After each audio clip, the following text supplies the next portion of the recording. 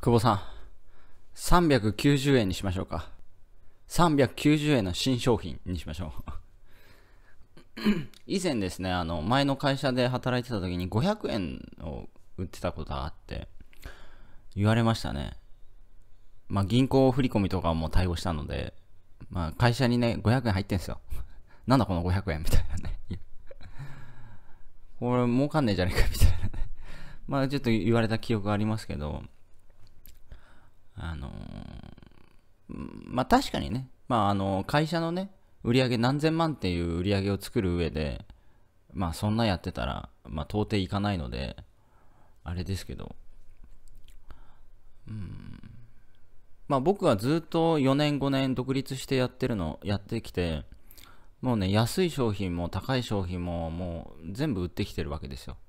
だから安いからどうのこうのではなく、とにかく目の前のあのお金を奪ったると。ね、言葉汚いですけど、うん、どうやってお客さんの財布からね、100円でも1円でもいいから取ってやろうかっていうのを常に考えてますからね。うん。だから、この価格で買えないんだったらこの価格で買えるだろうみたいなね。どうだ？みたいな。水戸黄門みたいなね。まあ、それをずっとやってますね。だからもうこれからも続けるでしょうね。高い商品も扱うし、高い商品買えないんだこれでどう？みたいな。で、みんな100円の商品も作んないし、10円の商品も作んないんですよ、結局は。うん。だからまあ、世の中ビジネスですからね。まあ、あの、コンビニで僕今日コーラ買いましたけど、119円。ファミマで買って、ちょっと140円が119円になってますみたいな。で、119円ぐらいで買いましたけど、どうすかね ?100 円取ってんですよ。コンビニ行ったら、あなたの財布から取られるんですよ。取られるというかねうん、まあそうやってみんなビジネスしてるわけですから、あのー、100円、あ、あの、侮るなと。ね。しつこくね。売ってかないとダメなんですよ。久保さんもね、隠居してるのに、しつこくね、みんなの、みんなの銀行ね、もうみんなの銀行、広告塔久保哲郎ですよね。もうみんなの銀行から表彰されるんじゃないかな、みたいなね。うん。まあでも久保さんが言う通りね、1000円、あの、侮るなっていうことですよ。うん。まあ僕は今ちょっと商品プロモーション中なので、ちょっとやんないですけど、自分の商品がなくても、商品、あの、ご案内できるんですよ。すごくないですか？これアフリエイトですけど、みんなの銀行っていうね、あなたがみんなの銀行をね、作らなくても、みんなの銀行を紹介してお金稼げるっていうね、すごい時代ですよね。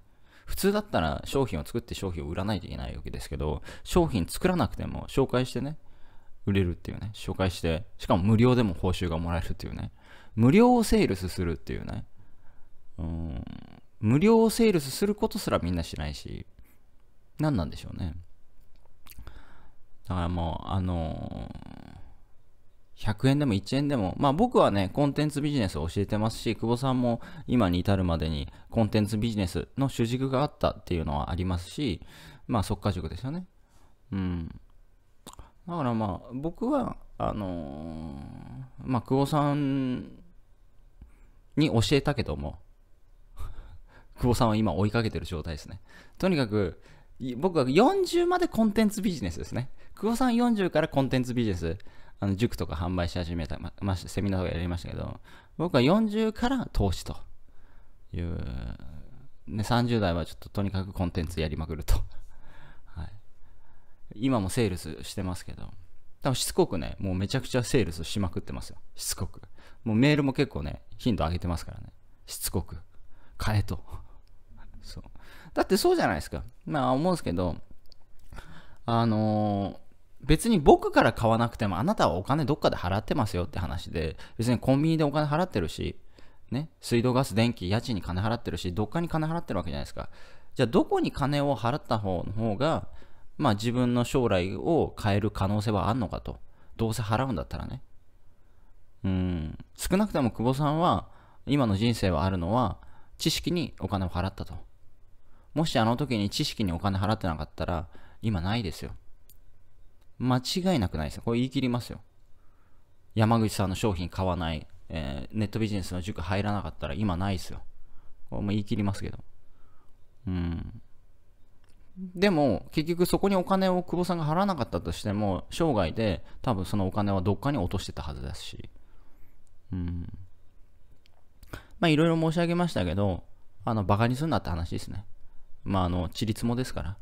あの、1円でも2円でも取りに行くと。まあ、それがビジネスですから。奪い合いですから。戦争ですから。うん。まあ、それが、だって、FX とかと、FX なんかそうじゃないですか。奪い合いでしょ？どどう思います ?FX とか奪い合いじゃないですか、完全に。負けた人からいただいてますみたいな。だって、FX で誰、全員勝ってたら利益出なくないですか？どうすか、久保さん。FX100 人やって100人が利益出してたら、どうやって利益出すのっていうね。どっから分配するのって話で。負けがね、99%ぐらいいるから、ね、勝ちの人に結構取り分あるだけであって、これね、無理じゃないですか、多分 うん。奪い合いです、世の中。奪われる側か、奪う側か。いってらっしゃい。